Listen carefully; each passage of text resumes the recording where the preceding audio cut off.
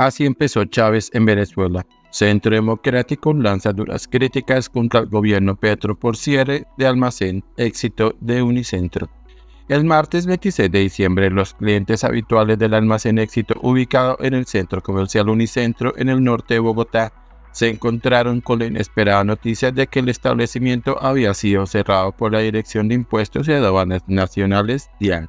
La medida que entró en vigor hoy tiene una duración de tres días y, según información preliminar, se debe a un presunto incumplimiento de la empresa en relación con los nuevos procedimientos de facturación electrónica.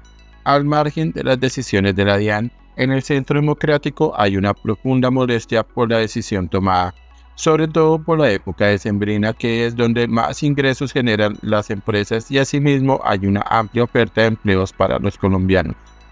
Josías Piesco, coordinador nacional de activismo y militancia de la colectividad, dijo que el cierre de almacén es arbitrario y evoca lo que ocurrió en Venezuela con las empresas privadas, cerrado por Petro, por la DIAN de Petro, y es la muestra de un régimen antiempresa.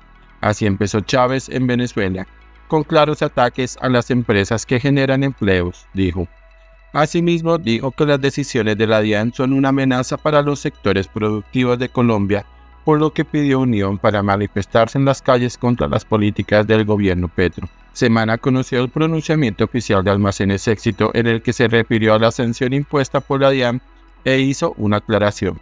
La compañía sostiene que es señalada de presuntamente incumplir con la facturación electrónica, pero aclara que la sanción impuesta por la DIAN no se origina por la desatención de obligaciones de liquidación o pago de impuestos. El grupo de éxito indicó que no comparte la decisión que perjudicará sus ventas por tres días.